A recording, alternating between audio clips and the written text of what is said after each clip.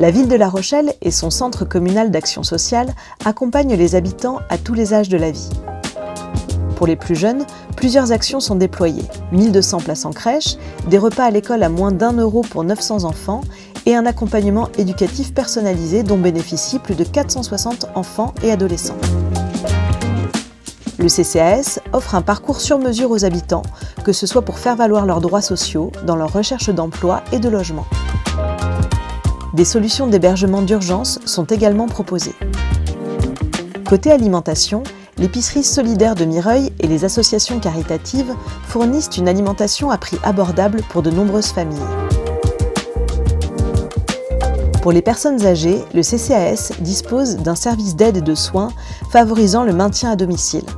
Les moins autonomes peuvent être accueillis dans l'un de ces sept établissements d'hébergement. Afin de préserver le lien social, les plus de 60 ans et les proches aidants ont accès à de nombreuses activités. Et à tous les âges de la vie, la ville et le CCAS agissent pour faciliter le quotidien des personnes en situation de handicap.